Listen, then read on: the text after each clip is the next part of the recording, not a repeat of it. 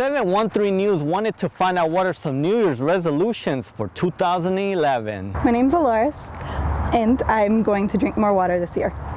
To practice yoga on a weekly basis. Because this year I've only done it once a week, once every two weeks, and I feel like if I do it more than once a week, it'll, I'll be a happier person.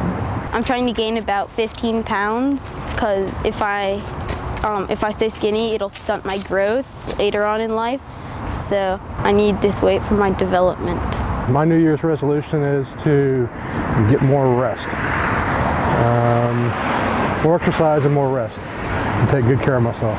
No, I don't have one because I've never been able to keep them. So I just quit making them because it makes me feel really bad when I can't keep them.